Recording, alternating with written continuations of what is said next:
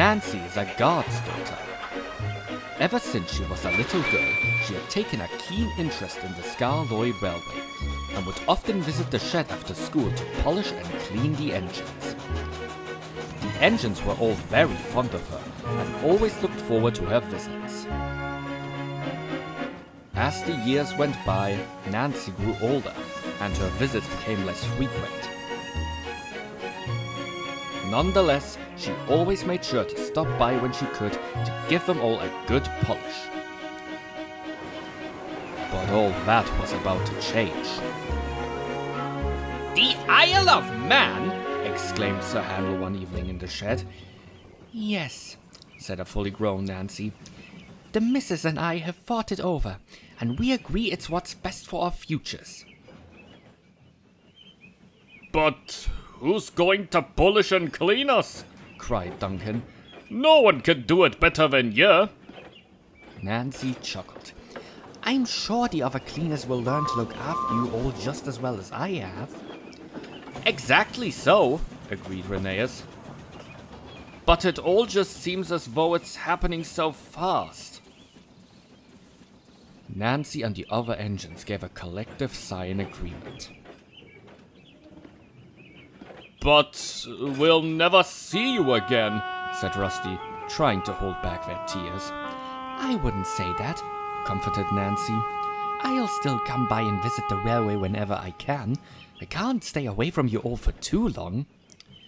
That cheered the engines up a little.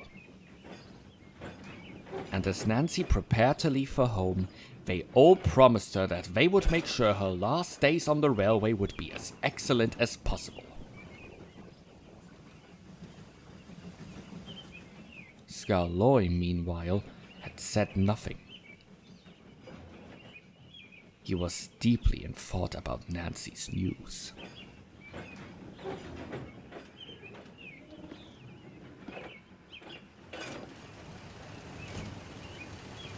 Over the coming days, Nancy visited the Skarloey Railway as often as she could.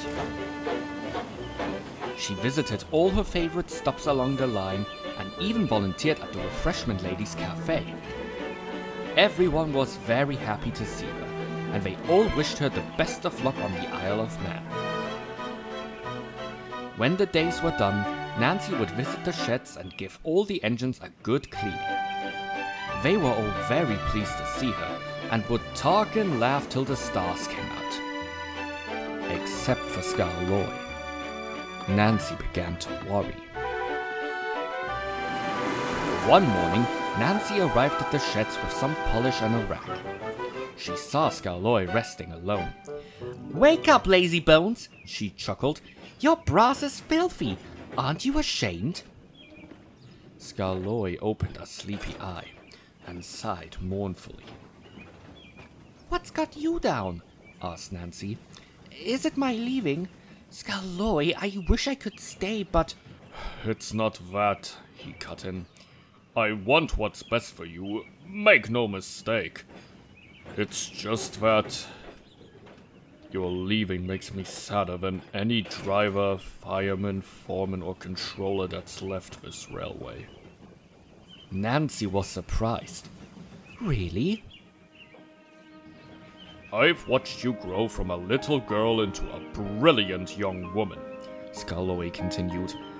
And I've been there for so many of the biggest days of your life, like your wedding. The old engine sighed. I suppose that's why it hurts so much more. It's hard for me to think about life on this railway without watching you grow up on it. To me, you're still that little girl who always came after school to us. Nancy smiled, touched by Skarloey's words. They have a word for all that, Skarloey. Love.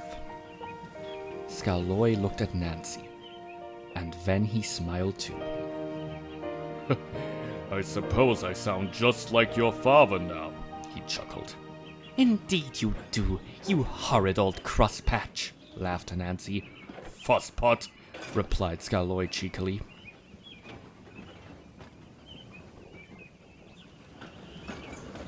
The two old friends laughed and reminisced together as Nancy polished and cleaned Skarloey for the final time. And for a fleeting moment, they both felt as young as when they had first met. But all too soon, it came to an end, and Nancy had to leave to help at the cafe.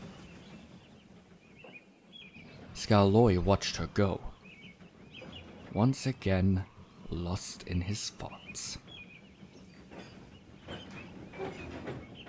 Soon, the day came for Nancy to leave for her new home.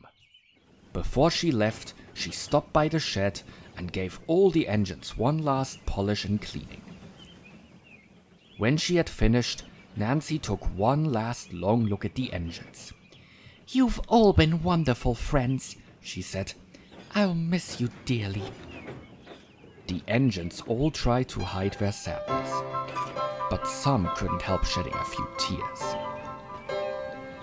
Then, as Nancy turned to leave, they erupted into a chorus of whistles as a final farewell to their dear friend. And no one whistled louder than Skarloey. Música